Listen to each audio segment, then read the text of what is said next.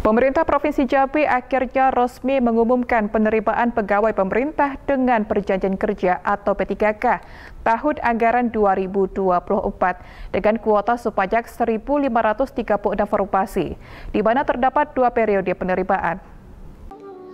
Pemerintah Provinsi Jambi telah mengumumkan pembukaan pendaftaran untuk seleksi pegawai pemerintah dengan perjanjian kerja atau P3K tahun anggaran 2024. Kepala BKD Provinsi Jambi melalui Kabit Pegadaan, Pemberhentian dan Informasi BKD, Firman Kurniawan mengungkapkan bahwa formasi yang dibuka sebanyak 1.536 kuota dengan rincian 1.306 tenaga guru, 60 tenaga teknis, dan 170 tenaga kesehatan.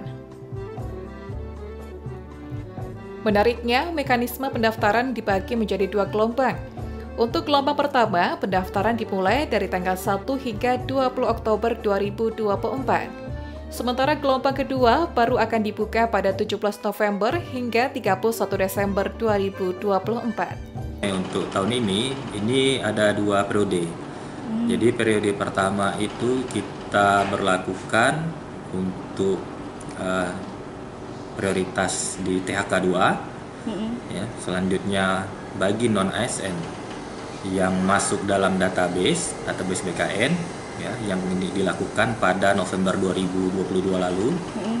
Ya. Nah, itu dibuka mulai pendaftarnya sampai tanggal 20 Oktober. Ya. Sampai dilanjutkan nanti di tahapan tahapan selanjutnya di pelaksanaan kompetensinya nanti di bulan Desember. Nah, selanjutnya di periode kedua ini dibuka di tanggal 17 November sampai dengan 31 Desember. Nah, ini untuk siapa? Ini untuk tenaga non ASN yang tidak masuk dalam database. Hmm. Jadi ada uh, periode ini ada memang masa pendaftarannya berbeda. Yang periode pertama hanya 20 hari, yang di periode kedua itu satu bulan setengah. Hmm. Jadi memang lebih panjang. Rian Chen Chen, Cek TV, melaporkan.